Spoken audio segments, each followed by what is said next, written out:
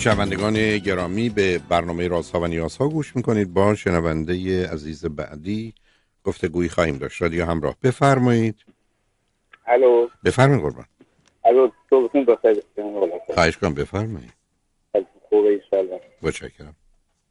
جناب دکتر من موندم که توی بین جبر و اختیار ما یا تابع جبر هستیم در زندگیمون در زندگی روزمرمون اختیار از خودمونه. یعنی هر کاری می‌کنیم یا یه کارهایی که می‌کنیم با اختیار خودمونه یا اینکه مثلا فرض کنید شما دیرید یه جایی تصادف می‌کنید.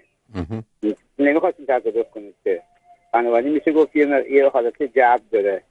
یعنی شما قرار میگین در اون شرایط. اگه شما توضیح بفرمایید. با نه ببینید مطلبی که شما میفرمایید عزیز پیچیده ترین موضوع علمی فلسفی و مذهبی است. یعنی اگر شما من بگید اون چیزی که بیش از همه بحث و گفتگو داره عمیق و وسیع و سنگین کدامه خدمتتون عرض می‌کنم مسئله جبر و اختیار یعنی مجبور بودن و آزاد بودنی که معمولا نگاه فلسفی ولی بیشتر مذهبیه و ماجرای داشتن یا نداشتن آزادی در انتخابه که بهش اشاره کرد. بنابراین بگذارید دوتا رو میشه گفت فریدامون اختیارش خب بله بنابراین فرقی نمی‌کنه. اون دترمینیسم در حقیقت یه نوعی جبره و این یکی در حقیقت اون ویل هست که شما بله. توانایی رو دارید ولی ارز کردم هر دوتا مطرحه. و بذارید من هم دیدگاه علمیش رو هم دیدگاه مذهبیش رو اول توضیح بدم. دیدگاه مذهبی مسئله جبر و اختیار این است که اونها که باور به وجود خداوند دارند با نظرشون این هست که خداوند دانای توانا به یک اعتبار همه چیز در تحت اراده اوست. حتی آنجو گونه که آمده حتی برگی به روی زمین نمیافته مگر خدا بخواد یعنی میرن تا این مرز که همه چیز از قبل نوشته شده مشخص شده و جبر است و آنچه که هست اتفاق میفته حتی برخی از اوقات گفته شده که آیا خدا می‌دونه من فردا مثلا چه می‌کنم؟ همینقدر که بگم بله حرف این است که پس من کارش نمی‌تونم بکنم. یعنی این گفتگو آمده است که حتی این دانایی خدا موجب جبر میشه. حالا اونچه که واقعیت داره اینه که این نتیجه گیری ها درست نیست. یعنی شما می‌تونید به خدای دانای توانایی باور داشته باشید که بگه هیچ چیزی خارج از اراده من نیست برای اینکه همه چیز رو او ساخته قوانین رو او بهش داده. و بنابراین همه چیز در اون چارچوب حرکت می‌کنه. یعنی مثل این میمونه که یه مهندسی برگرده بگه این اتومبیلی که حرکت می‌کنه به دلیل تصمیم و انتخاب منه. برای اینکه دستگاه رو گذاشته شما از اون راهی که او گفته حرکت می‌کنید خب اون نتیجه گرفته خواهد شد. بنابراین به صرف این که یک خدا دانا و تواناست و هیچ چیزی بدون اراده او نیست. اگر حتی این اصل رو بپذیریم معنای دیگرش این است که می‌تونه جهان رو ساخته قانونش رو ساخته پس چنینه. بنابراین وقتی مثلا فرض کنید شما یه گلوله ای رو از یه بالای ساختمونی پرتاب می‌کنید پایین این گلوله ساخته دست اوست. قوانین حاکم بر این سقوط هم او درست کرده بنابراین هیچ چیزی بدون اراده او هیچ حرکتی نمی‌کنه. اینکه بگیم خدا چون فردا می‌دونه من چه می‌کنم پس من مجبورم که استدلال دیگری است. رد به این دلیل که او آنچه رو که ما می‌کنیم می‌دونه نه آنچه که ما مجبوریم به اون. یعنی درست مثل اونه که فرض کنیم من شما بریم یه مسابقه فوتبال. بعدا متوجه بشیم که در دقیقه ده مثلا این فرد به اون پاس داد و اونم شوت کرد و رفت تو گل. بنابراین من و شما امروز رفتیم در یه استودیومی و اونجا مسابقه فوتبال دیدیم دیدیم در دقیقه دهم بازی این آدم یه گل زد. خب شب اگر آمدیم و اینو خون تو تلویزیون پخش کنن من شما دقیقا می‌دونیم که چه اتفاقی خواهد افتاد. یعنی من شما می‌دونیم که الان دقیقه هشته تا به حال هیچ اتفاق نیفتاده نهه هیچ وقت نیفتاده ولی به زودی این گل به این صورت انجام میشه. اما دانستن من شما که علتش نیست. یعنی در های فلسفی گفتن که به هر حال دانایی خدا علم خدا سبب تحقق نیست عین تحققه. یعنی این موجب نیست. خود خودشه. پس بنابراین اینکه ما استناد کنیم به اینکه هیچ چیز نمیفته مگر به اراده خدا میشه گفت این در موجودات و در قانونشه. اینکه او می‌دونه علتش نیست. یعنی من به دلایل فراوون این کارو می‌کنم یا اون کارو نمی‌کنم و خب او خبر داره ولی منم که تعیین کننده و علت اما میریم سراغ بحث اون طرف که شما اشاره فرمودید. البته اون قصه ای که شما گفتی چیز دیگری است. آیا انسان تماما آزاده پاسخ هست که نه. چرا ما تماما آزاد نیستیم؟ برای که ما تماما انسان نیستیم. ما از یک طرف جمادیم ماده ایم این قوانین مادی اونجا حاکمه. یعنی فرض کنید الکترون اکسیژن یا هیدروژن در وجود من و شما در همون گونه میچرخه که در جهان طبیعت میچرخه. ما اونجا هیچ جبر مطلقه حتی. یعنی اینکه این بدن من اون بدن شماست ما در اینجا مجبور مجبوریم. برام این جنبه مادی ما بر اساس قانون طبیعت و جبر. جنبه گیاهی ما یه پاسخ و واکنشی به اوضاع میده ولی اونم تابع قواعدیه. جنبه حیوانی ما مثل حس ما دیدن ما شنیدن ما خوردن ما خوابیدن ما که مشترک میان انسان و حیوان هست هم گفته میشه به مقدار زیادی تابع اصل جبره. یعنی به همجاست که من شما خوابمون می‌بره یا من شما جاز و کار می‌کنه یا قلبمون می‌زنه اینا تابع قواعد و قوانین خودشن. گفتگویی که از اینه که روزی که می‌رسه به جنبه اخلاقی و انسانی در اونجا انسان آزاده. یعنی من می‌تونم عادل باشم یا ظالم مهربان باشم یا نامهربان خوب باشم یا بد. و به همجاست که مسئولیت اینجاست. من برای خوابم نمی‌تونم در مقابلش بیستم. من وقتی که به, همجاست که میگن در اصول اخلاقی انسان آزاده. عجب اون که در حالت هیپنوتیزم که من اگر شما رو هیپنوتیزم کنم به همه چیز در اختیار منه. میگم اینجا سرد شما شروع کنید لرزیدن. میگم گرم شما عرق می‌کنید. میگم یه فیلم خندهدار شما کنید قش قش خندیدن. فیلم گریان شد و سوزناک شد گریه می‌کنید. پس شما در اختیار من ولی اگر من به شما بگم مثلا لباستون رو کمیشو در بیارید که مخالف اصول اخلاقی شماست شما از هیپنوتیزم میاد بیرون. یعنی حتی مطالعات نشون میده در هیپنوتیزم هم آدما دو بار و دو گونه از هیپنوتیزم میان بیرون. یکی وقتی خطر مرگ مثل که آب بدن شما به خاطر اینکه من گفتم گرمه کم بشه به حدی برسه میاد بیرون. دوم وقتی مخالف اصول اخلاقی تونه. و این نشون میده که این حرف خیلی می‌تونه درست باشه. یعنی میشه اینو گفت که من در یه زمینه هایی مجبورم در یه زمینه های قابلیت مانور رو دارم در زمینه اصول اخلاقی و انسانی آزادم. بنابراین من مسئول راستگویی و دروغگویی. مسئول خوب و بد بودن مسئول عادل و ظالم بودنم هستم و به همین که اصلا مسئله مجازات و مکافات اینجا می‌تونه معنی پیدا کنه. اما اون چیزی که شما بهش اشاره فرمودید اینه که جهان یه قاعده و قانونی داره عزیز. یعنی من و شما پشت فرمون نشستیم با هم. داریم از یه جایی میریم یه جایی. اگر من و شما با این اتومبیل درست در مقابل یه ماشین دیگه که او هم در همون زمان سر همون چهارراهی برسه که من شما هستیم معلوم تصادف میشه. و شدت تصادف و آسیبی که من شما می‌بینه بر اساس قوانین طبیعته یعنی حالا می‌تونه یه تصادف ساده باشه سنگین باشه.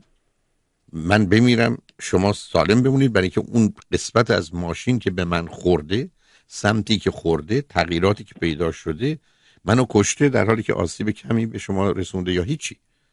ولی اینها مسئله نیست که به من و شما مرتبط اینا قانون طبیعته شما درست بس که سنگی رو بندازید پایین یا لیوانی رو بزنید زمین. اگر روی روی قالی باشه شاید نشکنه ولی روی سنگ فرشی باشه خورد بشه. خوردم که میشه اجزایش که پراکنده میشه بر اساس قوانین فیزیکه. به همین جهت است که امروز می‌تونن از اینجا یک سفینه رو را بندازن. بعد از مدت ها برسونش به اونجایی که می‌خوان.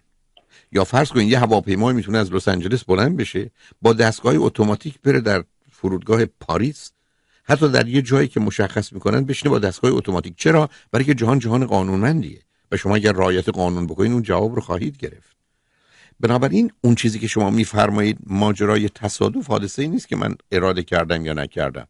هر زمانی که من و شما با یه سرعتی سر یه چهار راهی در یه جا قرار بگیریم تصادف اتفاق میفته برای که قرار نیست دو تا ماشین در آن واحدی یه جا باشن.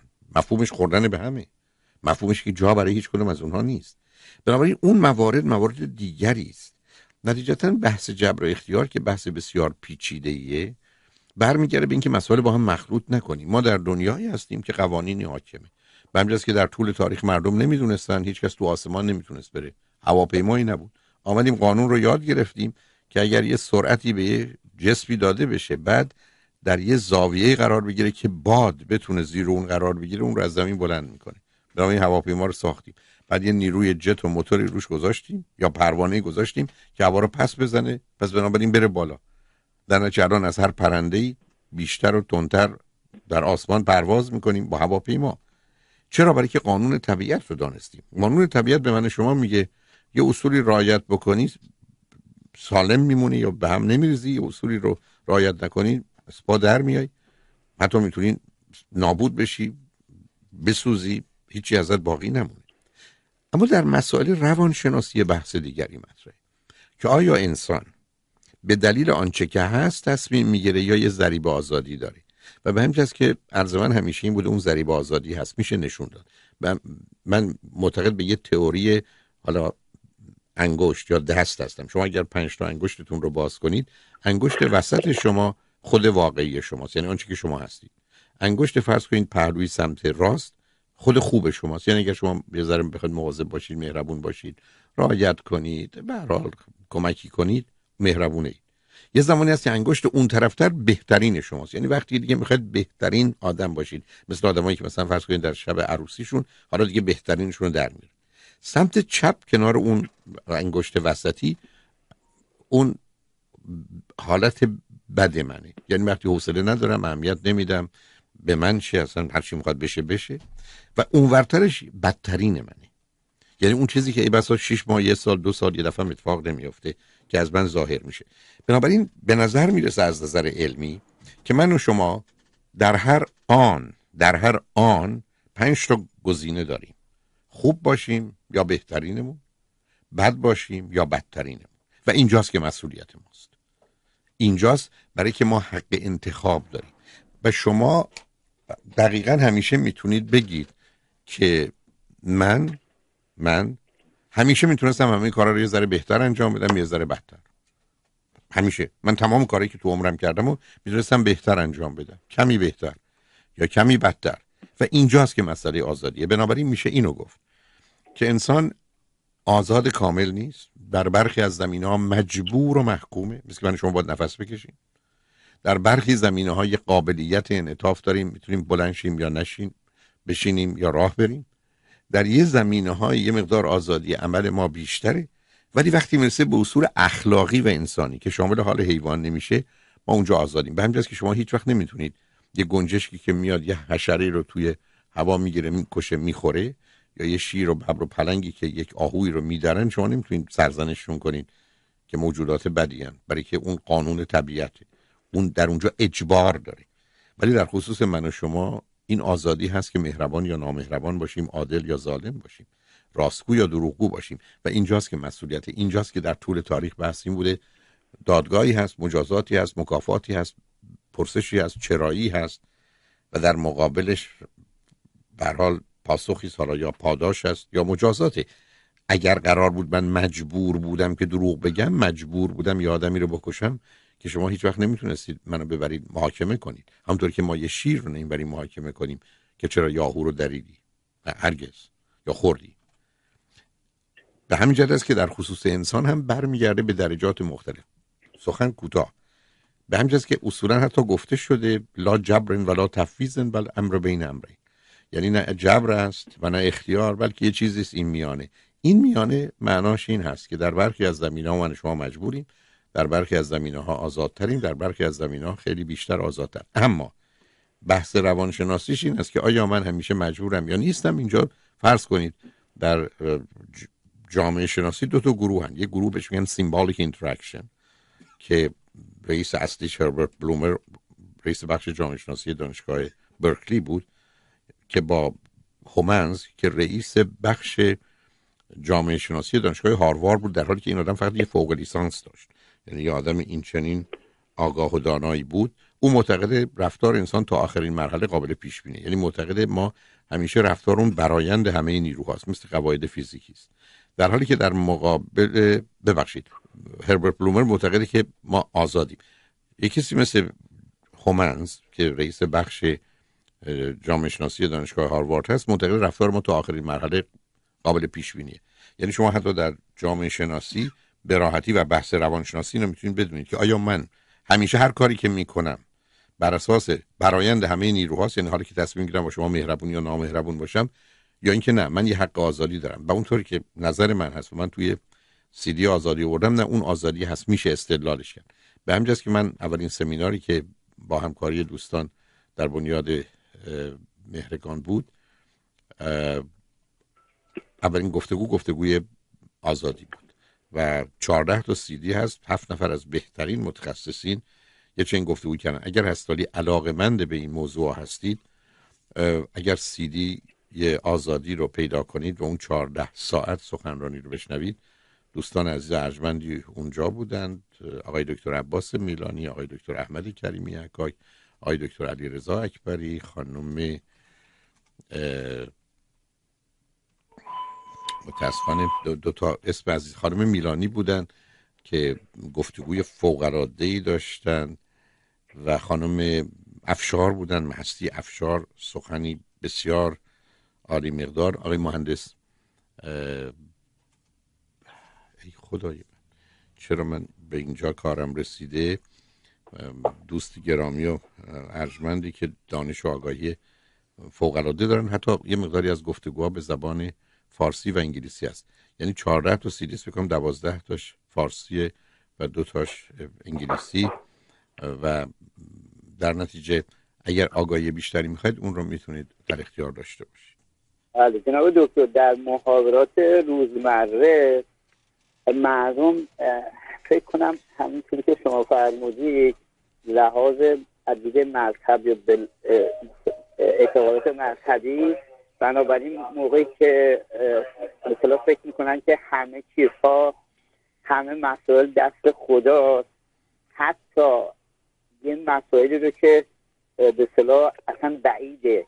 مثلا فرض کنید اگه خدا عادله و محاکمه می‌کنه مثلا چرا چنگیز خان محاکمه نشد یا هیتلر محاکمه نشد یا مثلا به سزای اعمالش نرسید؟ ولی در روزمره که می‌خوان یه چیزی رو به صلاح انفشار کنن روش تکیه کنن آقا خدا بکنه اینجوری میشه خدا نکنه اینجوری میشه. برو مثلا امتحانتو بده خدا بکنه قبول میشی خدا نه خب اونا درست نیست عزیز. برای که ببینید اصولا ای قرار باشه او تعیین کننده و تصمیم گیرنده باشه که من شما دیگه مسئولیت نداریم. دیگه همطوری خودتون اشاره کردید این که من امتحان قبول بشم یا رفوزه بشم به درس خوندن آگاهی من ارتباط نداره. نه. به نظر می‌رسه که یک کمی خدا داناتر و تواناتر از این هست. آمده گفته شما می‌خواید این درس رو پشت سر بذارید باید اینقدر درس بکنید. شما می‌خواید از اینجا برید منزل مادرتون با دو کیلومتر برید. اینکه شما تو خونه نشستید خدا بخواد یه دفعه خونه مادرتون باشید اتفاق نیفتاده عزیز. من به خودم این اجازه رو میدم. این خط رادیو هم در اختیار دوستانی است که بخوان صحبت کنن نه اینکه رو خط بیان می‌تونن تلفن کنن من میگیرمشون. هرگز در جهان هیچ قانونی نشکسته. هرگز. یعنی هرگز شما نشده که در لس آنجلس تشریف داشته باشید دفعه ای بابا من وسط تهرانم. یا من الان رفتم شیراز. همچی چیزی نشده هیچ وقت نشده که شما یه دفعه متوجه بشید قدتون 5 سانتی متر بلند شد یا 5 سانتی متر کوتاه شد. ما در جهانی هستیم عزیز که بر اساس قاعده و قانون کار می‌کنیم. بنابراین خدای دانای توانا به من شما گفته می‌خوای به اونجا برسی از این راه باد بری این قانون رو و این واقعیت رو گذاشته. ولی این که عرض کردم به یک اعتبار شما می‌تونید بگید هیچ اتفاقی میفته مگر براده خدا برای که جان رو خلق کرده قانونش رو گذاشته. ولی هیچ چیز رو او توش دخالت نمی‌کنه. یعنی من اگر درس نخونم قبول نمیشم. من اگر دوا نخورم مریض بهبود پیدا نمی‌کنم. مثل بابایی بود که ادعا می‌کرد که خدای من بلیت وقت آزمایی ببرم. هی نمی‌برد. بالاخره ندا از آسمان رسید که بابا اقلا یه بلیت بخر که من به کاری بکنم که تو ببری. داستان اینه که بسیاری از ما اصلا حتی حاضر نیستیم بلیتی هم بخریم می‌خوایم ببریم. اینکه مردم تو کوچه و خیابان چه میگن یا باور مردم من با اون کاری ندارم عزیز. عرض من این است که وقتی واقع بینانه عاقلانه نگاه می‌کنیم یا نگاه می‌کنیم به آنچه که مثلا برداشت های فلسفی مذهبی علمی هست به اینجا می‌رسیم. که ماجرای جبر و اختیار که پدیده پیچیده است و حوزه و حریمش عجیب و غریبه انسان رو در وضعیتی قرار میده که در یه زمینه های مجبوره و در اونجا به هیچ وجه مسئولیتی نداره. مثلا فرض کنین من شما رستیم توی مهمونی. برای بودم کسی از جهاز حازمه ما شروع کنید شکر ما صدا کرده اما که مسئولیت نداریم عزیز. ممکنه خجالت زده بشیم شهربنده بشیم ولی صدا می‌کنیم شکممون. ولی دست ما نیست. ولی اینکه من شما یه حرف زشتی بزنیم یا نزنیم که دست ماست. اینجاست که وقت باید برمیگره به این بحث که آیا واقعا من مجبور بودم و حرف زشت رو بزنم یا نه؟ اینجاست که گفته میشه من و شما یه زمینه هایی داریم که راحت تر می‌تونیم یه کاری بکنیم یا نکنیم ولی مسئولیت نهایی در مورد آنچه که اخلاقی با ماست. مسائل غیر اخلاقی به مقدار زیادی اگر هم آزادی هست جبر درش هست. تنها جایی که گفته میشه من و شما آزاد آزادیم باز جمله تکرار می‌کنم. راستگو باشیم یا دروغگو مهربان باشیم یا نامهربان ظالم باشیم یا یعنی اینجا حریم از اینجا حریم تکلیفه. اینجا حریم تقصیره. اینجا حریم گناهه. به همین که من برخی از اوقات وقتی دوستان روی خطش میارن و میگن اینجوری شد بعد من عذاب وجدانم میگم آخه شما گناهی نکردید یه کسی دیگه یه انتظار و توقعی بیجایی داشته و شما اون انجام ندید شما چرا باید احساس گناه بکنید؟ یا تا برخی از اوقات حوادثی اتفاق میافته که خیلی هم بده ولی من شما که مسئول نیستیم. من بارها عرض کردم. من یه کنفرانس دارم. دوستان به خاطر کنفرانس تشریف به اون مرد. ولی اصلا اونجا جاشون نبود. من به خاطر اینکه کم یا زیاد حرف می‌زنم در یه ساعتی فرض کنید ده و سه دقیقه از دفتر از اون سالن کنفرانس میام بیرون. سر چهار تصادف می‌کنن. خب معلومه من کنفرانس نشدم که اونا اونجا نبودن. اگر من کمتر یا زیادتر حرف زده بودم که اونجا سر اون ساعت سر اون چهار راه نبودن ولی من که مسئول تصادف اونا نیستم. برای که من وقتی مسئولم که من اون رو ترتیب دادم.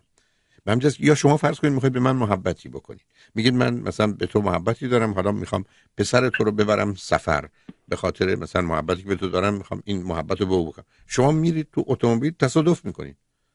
پای پسر من قطع میشه. شما که مسئول قطع پای پسر من نیستید. مسئله تصادفه مسئله است. ولی شما که با این نیت نیومدید فرزند منو ببرید پاشو قطع کنید. این اتفاق افتاد. بنابراین ماجرای مسئولیت یه ارتباط یا علت بلاواسطه با یه پدیده است.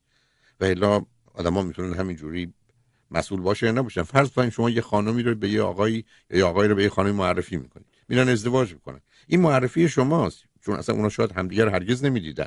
که سبب میشه اونا مثلا اون دو تا بچه رو بیارن. اگر شما اون معرفی رو نکردید اون مثلا دو تا بچه وجود نداشتن. حالا یکی از این بچه ها اگر پشت فرمون نشست در کسی رو کشت. اون کسی که کشته شده به خاطر وجود این بچه است. این بچه به خاطر شمایی که این دو نفر رو معرفی کردید اصلا به دنیا اومد. چون اگر شما معرفی نمی‌کردین هم دیگر نمیدن هرگز اون بچه به دنیا نمیاد هرگز اون آدم اونجا نبود. هرگز کسی رو نمیکشت. آیا برای شما قاتلید؟ به همین جهت است که حوادث جهان به گونه ای اتفاق میفته و مسائلی از این قبیل به هر حال آگاهی بهش که ما بدونیم کجا باید قرار بگیریم. به همین جهت است که وقتی شما همطور که فرمودید آدم ما صبح خوب اگر خدا بخواد اصلا من هرگز از دهن من همچی چیزی در نمیاد. ما برخی از وقت به خاطر عادت ممکنه همچی حرف بزنیم ولی من انتظار ندارم که صحبت امروز من خوب باشه ای خدا بخواد صحبت امروز من بد باشه ای خدا بخواد. اصلا بعد هم شما فکر کنید که اصلا اینو تعمین بدید. الان توی این اتاقی که من شما هستیم یا شما هر جایی که هستید یه مقدار ذراتن. این ذرات در حقیقت اتمایی هستن. این اتما دورشون الکترونه. این الکترون ها دارن با یه سرعت حیرت انگیزی میچرخن. یعنی شما فکر کنید تمام خداوند نشسته الکترون تو بچرخ تو بچرخ تو بچرخ تو بچرخ تو برو بالا تو بیا پایین تو برو این ور تو ذره برو این ور تو ذره برو اون ور تو خنده داره. یا آبای اقیانوس. یعنی بلا فاصله فرمان الهی است که تو قطره بیا بالا تو قطره برو پایین. قطره حالا باید گرم بشی و اینکه باید سر بشی باید مواد شیمیاییش باشه. خب خیلی کوتاه نظری است. یعنی انقدر اوج به نظر من نادانی و خودخواهی است که من فکر کنم. بارگاه خلقت. میلیارد میلیارد میلیارد اصلا نمی‌تونم بگم. تریلیون تریلیون تریلیون پدیده در جهان در حال حرکت. من دفعه فکر کنم الان خداوند آمده کسب من بینه من راست میگم یا دروغ میگم میرم اینور یا اونورم اونور. چرا قانون رو نگذاره؟ درست مثل اینکه فرض بفرمایید شما یه دستگاهی رو درست می‌کنید که میگید اگر در جرات از این حد رفت بیرون مثلا یا متوقف میشه یا قطع میشه یا میترکه. خب قانون توش هست. چرا باید, باید خودش بیاد این کارو بکنه؟ چرا اون مسئول را بیفته بیاد تو آشپزخونه شما؟ متاسفانه اینا ناشی از خودخواهی و نادانی. یعنی خودخواهی که من اینقدر مهمم که اصلا بارگاه خلقت همین چیز راه کرده جسد من. و بعد از سر نادانی که اصلا روابط رو در جهان نمی‌دونم. بنابراین جمله اولم رو باز خدمتتون تکرار می‌کنم. بحث جبر و اختیار یا آزادی و اجبار در انسان یک موضوع فوق العاده مهم و اساسی است. پیچیده ترین موضوع علمی فلسفی و مذهبی است. و به همین است که دربارش همیشه گفتگو بوده. مهم پرسش درسته مهم یه مقدار آگاهی به اینکه چه چیزایی نیست یا چه چیزایی رو باید حذف کرد یا نادیده گرفت. و به همین جهت است که این گفتگو مثلا فرض بفرمایید بحث درباره اینکه خدا چون می‌دونه پس مسئولیت با ما نیست. بله. یا جمله هست یه شعری هست اتفاقا از خیامه من می خورم و هر که چون من اهل بود می خوردن او نزد خدا سهل بود. می خوردن من حق ز ازل می‌دانست گر می نخورم علم خدا جهل بود. یعنی همچه حقه بازی. یعنی خدا می‌دونست من عرق می‌خورم. حالا من دارم عرق می‌خورم. خب من به این دلیل عرق می‌خورم که خدا علمش جهل نباشه. چون اگر من نخورم و خدا فکر بر من می‌خورم من نمی‌خورم. خب اشکال کار است که خدا علتش نیست خدا خودشه. یعنی اینکه من خوردم یا نخوردم رو می‌دونه. نه اینکه او موجب خوردن و نخوردن منه. ولی می‌خوام بگم یه همچی سفسطه بوده. من می‌خورم و در یه آره آیه هست. هل یستوی نه اون هل یستوی الذین یعلمون و الذین لا یعلمون. اون این است که آیا اونها که می‌دانن اونها که می‌دانن با آنها که نمی‌دانن برابرن. یعنی پرام این است که دانایی چقدر مهمه جان. آیا این نشون میده مثلا تجربیات یا آمارا نشون میده اونایی که از این بخاطر آگاهی دارن و دانا هستن اونا بهتر به این مسئله جبر و اختیار به هر چیز نه ببینید نه ببینید بحثی که وجود داره از نظر علمی اینه که وقتی شما دانایی دارید وقتی شما دانایی دارید از عهده سری کارا برمیاید از عهده سری کارا بر نمیاد وقتی نادانی دارید از عهده خیلی کارا بر نمیاد بنابراین دانایی به شما امکان ولی دانایی تضمین کننده اصول اخلاقی نیست. یعنی من ببینید مطالعات علمی که کولبرگ و بقیه کردن نشون میده که هیچ وقت رشد اخلاقی هیچ کس رشد اخلاقی کس بیشتر از رشد عقلیش نیست. پس آدمای نادان و آدمایی که عاقل نیستن اخلاقی نیستن. اما آدم عاقل ممکن اخلاقی باشه ممکنه نباشه. بنابراین من اگر مثل این که مثلا فرض کنید شما اگر پزشکید ممکنه کار پزشکی بکنید ممکنه نکنید. ولی اگر من پزشک نیستم که من کار پزشکی نمی‌تونم بکنم. بنابراین اون مطالعه خیلی عمیق و سنگینه و نشون میده که چون رشد اخلاقی هیچ کس بیشتر از رشد عقلیش نیست و در طول تاریخ و همکنون بیش از 60 درصد مردم دنیا عقل ندارن اصلا چیزی به اسم اخلاق نیست. آنچه که وجود داره ارزش یا ولیو سیستمه نه مورالیتی اون یه قصه دیگری است. دوم ولی آدم عاقل می‌تونه عاقل اخلاقی یا غیر اخلاقی باشه. ولی آدم غیر عاقل حتما غیر اخلاقی است. و این رو کاملا نشون دادن. حتی مثالی که من برای شما می‌تونم بزنم اینه که آمدن به بچه های کوچک گفتن یه مادری به سنهای مختلف حالا وارد بحث چون وقت کمیه نمی‌خوام به مادر بد... مثال زست مثلا فرض کنید من شما پرسیدم.